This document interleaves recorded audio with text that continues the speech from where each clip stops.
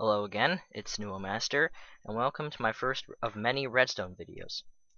Uh, I quickly made a world for Redstone videos that I'm going to be doing for YouTube. I'm going to put everything that I do for YouTube on here, and eventually you guys will be able to download it, just to look at and stuff, once I get that set up. Um, this is the, this is what I'll be showcasing today. It's a analog to binary converter um, I thought I'd start with this because it's something relatively simple to explain, and it's still pretty cool.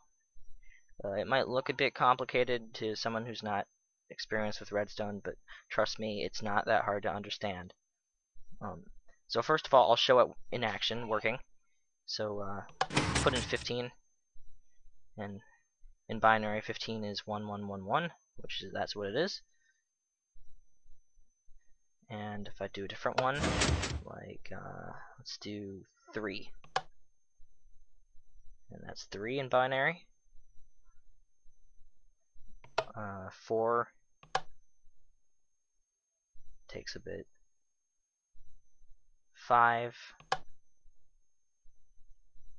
Um, 6. 7 eight and nine,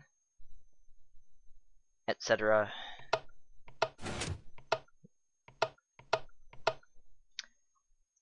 So, how does this work? Well, basically, it has layers. One layer for each bit. Each layer looks for, basically takes it, it sees if it can take away that number from the number it has here. So 15, 8 plus 4 plus 2 plus 1 goes into it, so it can take away all of them. So it goes all the way down, cascades through. This one saying, can I take away 8? If it can take away 8, it takes away 8. It blocks the other signal from going through.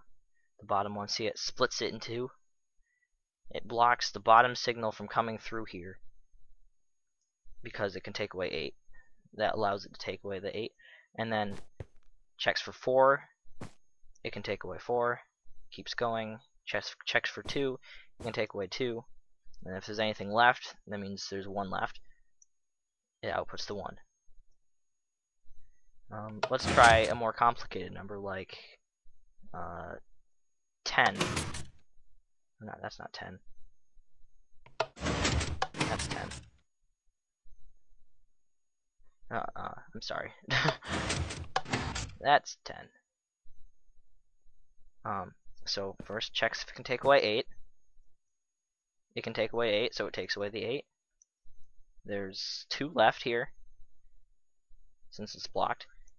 It checks if it can take away 4, but since it can't take away 4, it doesn't do anything since this is this is off up here, it doesn't block this, so it lets it go down to the next one.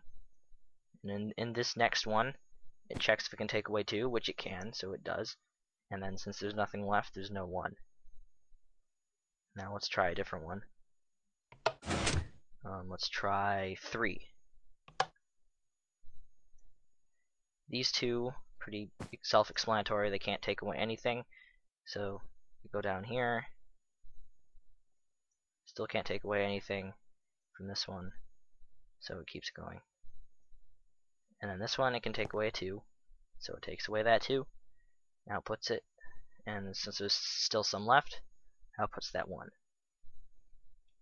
Um, so yeah, it's pretty simple. It just sees what numbers can fit into the number that you're sending in. That's how binary works, basically. Um, but it, it kind of looks complicated but it's really not.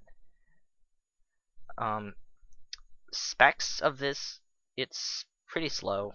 Uh, I'm gonna come up with some better designs later. This is just a proof of concept that I made when 1.5 came out. Um, it's also kind of weirdly staggered. It's like a diagonal stagger down. I'm trying. I'm gonna try to fix that as well sometime. Uh, these things out here are the lengths in which it subtracts from. You can also use chests to make these shorter. You put a chest with items in it, and a comparator off of that that will give you a specific signal length based on how many items you have in the chest. That will also work. Um, but I just did this because I didn't feel like sticking items in a chest.